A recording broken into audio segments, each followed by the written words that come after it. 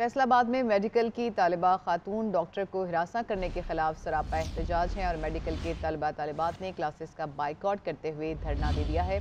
मुजाहरीन का कहना है कि पीएमसी कॉलोनी में खातून डॉक्टर को हिरासा किया गया और हिरासा करने वालों के खिलाफ कार्रवाई की जाए। इसी से मुतालिक मजीद तफसलत लेंगे नुमाइंदा जी एन अब्दुल सबूर से। जी अब्दुल सबूर, क्या सिचुएशन देख रहे हैं आप?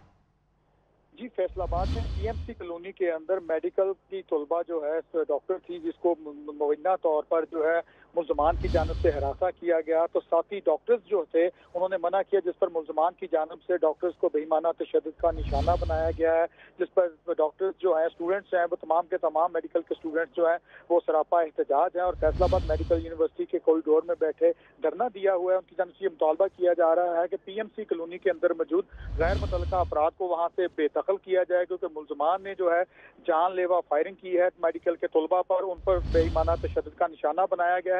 मुतासरा तालब इलम जो फाइनल ईयर का स्टूडेंट है बिलाल अशरफ उसको भी मीडिया के सामने लाया गया है जिसके सर पर पट्टी बंदी हुई है आखिरी तक में। इस हवाले से उनका ये भी कहना था कि मुलजमान ने जो है। उनसे पर जान जानलेवा फायरिंग की है और तफसीत बता रहे थे आप। आपका शुक्रिया।